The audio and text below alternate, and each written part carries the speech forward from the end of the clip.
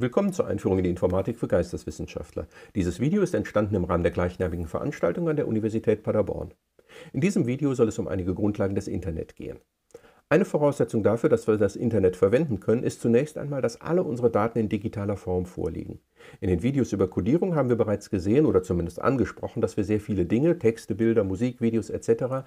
in digitaler Form, letztlich also in Form von Zahlen darstellen und so in Computern verarbeiten können. Natürlich interessieren uns in der Regel nicht die einzelnen Zahlen, sondern immer irgendwie zusammengefasste Zahlen. Bei Texten hatten wir gesehen, dass wir diese als Zahlenfolge abspeichern können, aber ebenso sieht das bei allen anderen Datenformaten aus. Im Grunde haben wir es immer mit langen Bitfolgen zu tun, die wir in Computern speichern, auf Festplatten ablegen oder auch per E-Mail versenden können. Im letzten Video hatte ich dann erzählt, dass dieser Versand per Paketvermittlung erfolgt. Das heißt, dass wir die einzelnen Bestandteile der Nachricht in kleinere Datenpakete verpacken und diese einzeln versenden. Nehmen wir an, wir hätten beispielsweise einen Text, der 100 Kilobyte groß ist, was gar nicht so fürchterlich viel ist, dann versenden wir diese 100 Kilobyte nicht an einem Stück, sondern zerlegen den Text in mehrere kleine Pakete, von denen jedes einzelne nur einen Teil dieses Texts enthält. Diese Pakete, so hatte ich gesagt, können dann auf unterschiedlichen Wegen verschickt werden, also auch unterschiedlich lange benötigen, bis sie ihr Ziel erreichen.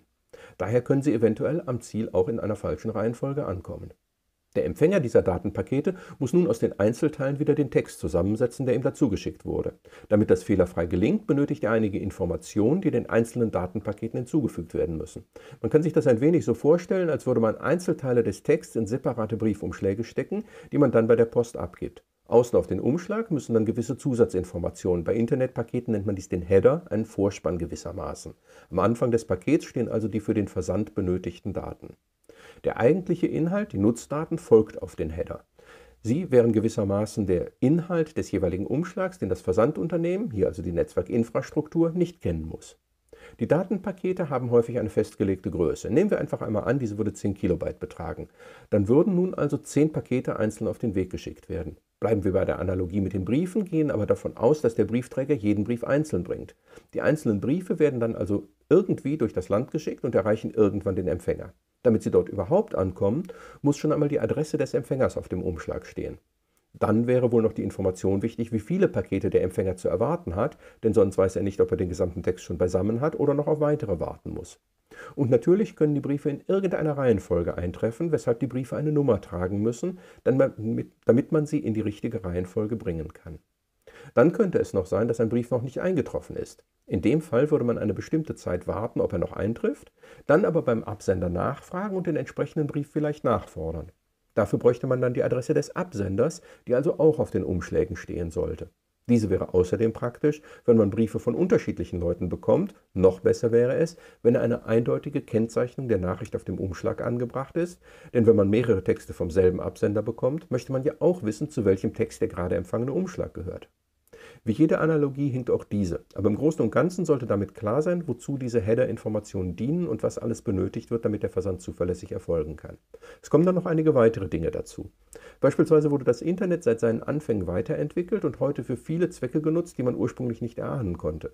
Daher gibt es verschiedene Versionen der Übertragungsprotokolle, denn solche benötigt man, damit die Interpretation der Header-Daten von allen Beteiligten, also Sender, Empfänger und auch den Vermittlungsstellen auf dem Weg, korrekt interpretiert werden kann. Außerdem gibt es verschiedene Arten von Diensten. Hier nutzt ihr gerade das World Wide Web, das ein Dienst im Internet ist. Wenn ihr E-Mails schreibt, nutzt ihr in der Regel einen anderen Dienst und wenn ihr einen Messenger verwendet, nutzt ihr noch andere Dienste. Das Protokoll, das hier verwendet wird, ist eigentlich ein aus zwei Teilen bestehendes Protokoll. Genauer gesagt besteht es aus noch mehr Teilen, aber hier sollen uns erst einmal nur zwei Teile interessieren. Das Transmission Control Protocol, kurz TCP, und das Internet Protocol, IP. Meist spricht man direkt zusammengefasst von TCP-IP. Diese beiden zusammen sorgen dafür, dass das Internet so funktioniert, wie wir es kennen. Das Internetprotokoll IP ist dabei dafür zuständig, die eigentliche Datenübertragung sicherzustellen. Wenn ein Router, so nennt man die Vermittlungsstellen in Netzen, die mit Paketvermittlung arbeiten, ein Datenpaket erhält, muss er wissen, wo das Paket als nächstes hingeschickt werden soll. Diesen Prozess nennt man Routing oder auch Routing. Das Paket muss dann jeweils an das nächste Zwischenziel weitergeleitet werden. Wie im letzten Video bei dem kleinen Netz, das wir dort betrachtet hatten, zu sehen war, kann der Weg vom Sender zum Empfänger über mehrere Zwischenstationen führen. IP sorgt dafür, dass die Pakete in die richtige Richtung geschickt werden, aber es sorgt nicht dafür, dass alle Datenpakete tatsächlich ankommen. Es sorgt auch nicht dafür, dass die Pakete hinterher in der richtigen Reihenfolge wieder zusammengesetzt werden können. Dafür ist genau das TCP zuständig, das Transmission Control Protocol. Dieses ist also für den eigentlichen Datentransport zuständig, indem es die Datenverbindung zwischen den Endpunkten herstellt und dann überprüft, ob tatsächlich alle Pakete angekommen sind. TCP bedient sich also gewissermaßen der Dienste von IP. Wir haben es also hier mit zwei Diensten zu tun, die Dienstleistungen auf unterschiedlicher Ebene erbringen. Der eine wäre sozusagen der Lieferwagen, der die ganzen Einzelpakete bringt. Der andere ist derjenige, der die Pakete entgegennimmt, überprüft, ob alle da sind und in die richtige Reihenfolge bringt, um dem Empfänger dann den eigentlichen Inhalt zu übergeben. Diese Aufgabentrennung ist etwas, das wir in der Informatik sehr häufig machen. Wir versuchen Aufgaben voneinander zu trennen, auch wenn sie eng miteinander verbunden sind, sodass man Teilaufgaben unabhängig voneinander erledigen kann. Hier und in vielen anderen Fällen geschieht das über ein sogenanntes Schichtenmodell, das mit dem Bildchen rechts auf der Folie illustriert werden soll. IP ist in diesem Modell die Vermittlungsschicht, TCP die Transportschicht. Vereinfacht gesagt sorgt die Vermittlungsschicht dafür, dass die richtige Verbindung zustande kommt. Die Transportschicht sorgt dafür, dass die Datenpakete vom Absender zum Empfänger geschickt werden und vernünftig ankommen. Die Transportschicht bedient sich dabei der Vermittlungsschicht. Das Bild zeigt aber noch zwei weitere Schichten. Oberhalb befindet sich noch die Anwendungsschicht. Anwendungen im Internet können zum Beispiel sein, dass wir E-Mails versenden wollen oder eine Webseite abrufen. Das sind zwei unterschiedliche Anwendungen im Internet. Um eine Datei abzurufen, gibt es wieder andere Protokolle, die ebenfalls in dieser Anwendungsschicht angesiedelt sind. Diese Anwendungen sind darauf angewiesen, dass die unter ihnen liegende Schicht funktioniert, also die Transportschicht. Diese wiederum ist darauf angewiesen, dass die Vermittlung funktioniert. Idealerweise, auch wenn das keineswegs immer gemacht wird, bedient sich jede Schicht ausschließlich der Dienste der direkt unter ihr liegenden, nicht aber der noch weiter unten liegenden Schichten. Auf diese Weise erreicht man eine Abstraktion von den tiefer liegenden Schichten. Das heißt, man muss weder wissen, wie diese funktionieren, noch muss man sich in der Regel darum kümmern, ob sich dort etwas ändert. So blenden wir hier in dieser Vorlesung die unter der Net Vermittlungsschicht liegende Netzzugangsschicht völlig aus. Dort würden wir uns in die Nähe der Hardware begeben und uns beispielsweise damit beschäftigen, ob wir über ein Funknetz, ein Kupferkabel oder ein Glasfaserkabel kommunizieren. Schon die Vermittlungsschicht muss sich dann nicht mehr darum kümmern, weil dies die Aufgabe der Netzzugangsschicht ist. Diese Idee von Aufgabenteilung, Abstraktion und Schichtenmodellen findet man an vielen Stellen in der Informatik. Diese unterschiedlichen Ebenen begegnen uns auch wieder, wenn wir im Internet unterwegs sind. Als Anwender nehmen wir sie meist nicht wahr, da sind wir auf der Anwendungsebene unterwegs. Aber wenn wir etwas genauer hinsehen, finden wir die Spuren auch auf unseren Computern. Auf der untersten Ebene, die wir uns hier angucken, besitzt jedes Gerät, das im Internet erreichbar ist, eine sogenannte MAC-Adresse. MAC ist dabei die Abkürzung für Media Access Control. Diese Adresse steht häufig irgendwo auf dem Gerät außen aufgedruckt und das deutet schon darauf hin, dass diese Adresse normalerweise bei der Produktion vom Hersteller vergeben wird und sich eigentlich nie ändern sollte. Es gibt Möglichkeiten und Tricks, diese zu ändern, aber eigentlich sollte diese Adresse ein eindeutiger Bezeichner, ein Identifikator für das Gerät sein, der für die gesamte Lebensdauer des Geräts gleich bleibt. Die MAC-Adresse eures Computers oder eures Handys könnt ihr auch über die Systemeinstellungen herausfinden. Allerdings muss man mitunter etwas suchen, bis man sie findet. Sie besteht aus sechs Bytes, die in hexadezimaler Form angegeben sind, beispielsweise 008041 AEFD7E. Diese MAC-Adresse muss man als Anwender nur selten verwenden. Eine Ebene darüber begegnen uns die Adressen dann schon eher einmal. Jedes internetfähige Gerät, unser Computer, unser Handy, unsere Heizung, unser Kühlschrank oder was auch immer, benötigt außerdem eine IP-Adresse. Da sprechen wir nun genau über das IP von eben das Internetprotokoll. Hier sind wir nun auf der Vermittlungsschicht. Das heißt, dass über diese Adressen die Verbindung hergestellt wird. Diese IP-Adressen bestehen aus vier oder sechs Byte. Ich hatte eben schon davon gesprochen, dass es verschiedene Versionen des Internetprotokolls gibt. Bis vor gar nicht so langer Zeit waren die Adressen noch 4 Byte lang. Nun können wir noch einmal überlegen, wie viele verschiedene Adressen es dann geben kann. Jedes Byte kann einen Wert zwischen 0 und 255 haben, also 256 verschiedene Werte annehmen. Mit 4 Byte haben wir also 256 mal 256 mal 256 mal 256 Adressen, also gut 4 Milliarden. Das ist allerdings nur ein theoretischer Wert, weil es eine bestimmte Art gibt, die Adressen zu vergeben und viele Adressen aus guten Gründen für bestimmte Dinge reserviert sind. Die Details dazu könnt ihr bei Interesse nachlesen, wollen wir hier aber nicht behandeln. Das sind zwar eine ganze Menge Adressen, aber nicht genügend viele, wenn wir immer mehr internetfähige Geräte haben. Also hat man eine neue Version des Protokolls entwickelt, die nun IPv6 genannt wird. Im Gegensatz zu IPv4 für das alte Protokoll sind hier nun alle Adressen 6 Byte lang. Das klingt erst einmal nicht nach viel mehr, aber wir erinnern uns, was exponentielles Wachstum ist. Hier können nun 256 hoch 6 unterschiedliche Adressen vergeben werden, also gut 280 Billionen. Das sind nun genau so viele wie auch MAC-Adressen und daher ist eine Überlegung, dass man jedem Gerät zukünftig auch eine solche Adresse fest zuordnet, während das bisher nicht der Fall ist. Unsere Geräte sind derzeit mit unterschiedlichen Adressen unterwegs. In der Regel werden IP-Adressen derzeit also nicht fest an ein Gerät vergeben, sondern dynamisch zugeteilt. Beispielsweise haben wir an unserer Universität gar nicht genügend Adressen zur Verfügung, damit alle Studierenden und Angehörigen der Hochschule beispielsweise mit allen ihren Geräten gleichzeitig im Internet aktiv sein könnten. Aber normalerweise ist das auch kein Problem, denn meist sind wir auch nicht alle gleichzeitig dort unterwegs, nur ein Teil von uns überhaupt anwesend und nur ein Teil der Geräte überhaupt eingeschaltet. Daher vergibt man kurzerhand die vorhandenen der Uni zugeteilten und von dieser selbst verwalteten Adressen dynamisch. Die Uni verwaltet dazu gewissermaßen eine Liste. Kommt nun ein Gerät auf den Campus und möchte sich in das Netz einwählen, nimmt dieses als erstes Kontakt zu einem DHCP-Server auf. DHCP ist das Dynamic Host Configuration Protocol, wieder einmal ein Protokoll. Dieser DHCP-Server teilt dem Gerät dann mit, welche Adresse es für die nächste Zeit benutzen kann. Ist das Gerät dann irgendwann nicht mehr im Uninetz aktiv, weil man es ausgeschaltet oder den Campus verlassen hat, wird diese Adresse wieder freigegeben und jemand anders kann sie als nächstes benutzen.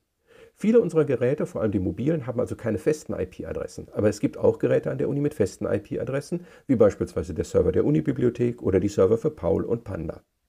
Unsere eigenen Geräte wiederum haben immer wieder wechselnde IP-Adressen, denn in der Uni, im Internetcafé oder zu Hause ist jeweils ein anderer DHCP-Server für die Vergabe der Adressen zuständig und kann nur Adressen in einem bestimmten Adressraum, den Bereich der von ihm verwalteten Adressen, vergeben.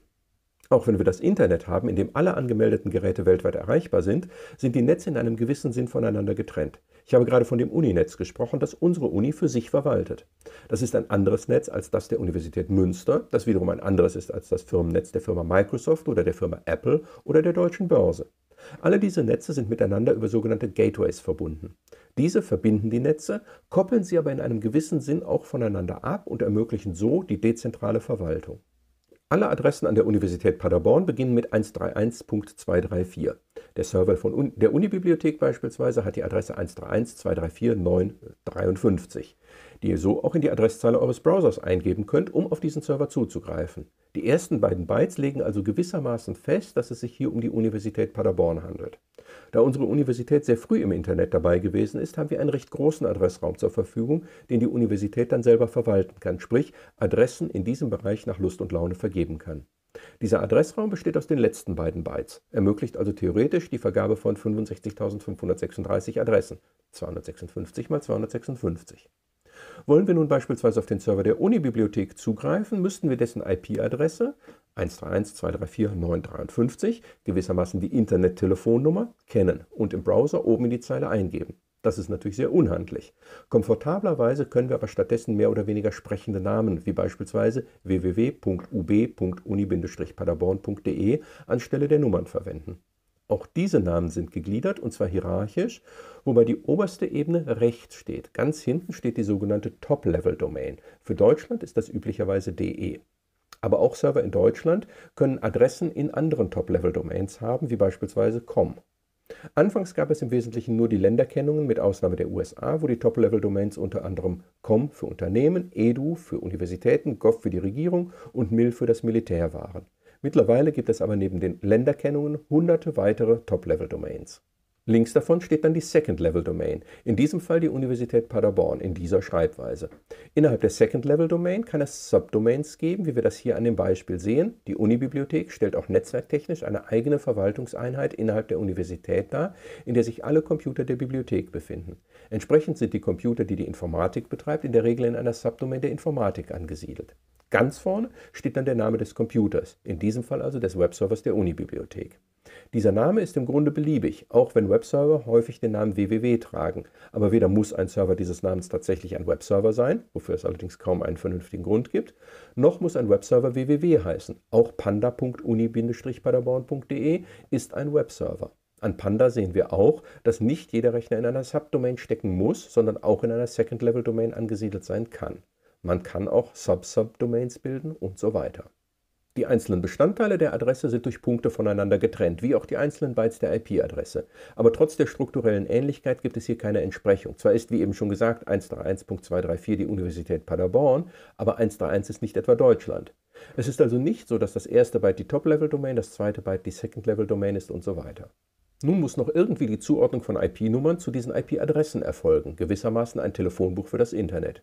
Dieses wird als eine weltweit verteilte Datenbank geführt, wo die Daten immer wieder aktualisiert werden, weil dieses Netz nun einmal sehr dynamisch ist. Der Dienst, der dafür zuständig ist, läuft auf einem Domain Name Server, kurz DNS. Dieser wird euch manchmal begegnen, wenn ihr Einstellungen an einem Netzwerk vornehmen müsst. Bei eurem Computer geschieht das meist automatisch, aber manchmal, wenn irgendetwas schief geht, muss man auch schon einmal bis auf diese Ebene hinunter und sich mit solchen Dingen beschäftigen.